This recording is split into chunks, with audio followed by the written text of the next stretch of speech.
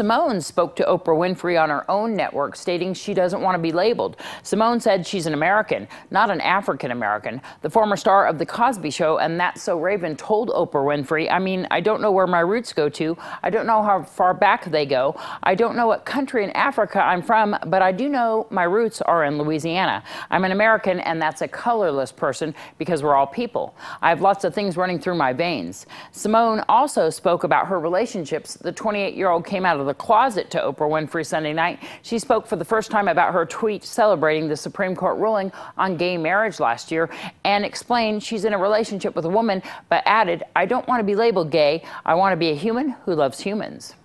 Stephen Collins, who starred in the television show Seventh Heaven, is the target of an ongoing child molestation probe into an alleged incident 40 years ago in New York. Following the revelation, Collins was fired from his job on the movie Ted 2. TMZ released an audio recording that purports to have been recorded during a November 2012 therapy session involving Collins and his estranged wife, Faye Grant. Collins and Grant are in the middle of a contentious divorce. Collins made incriminating statements in the recording. No charges have been filed according to police. The case is no longer active. Collins played the Reverend Eric Camden on Seventh Heaven, which aired from 1996 to 2007.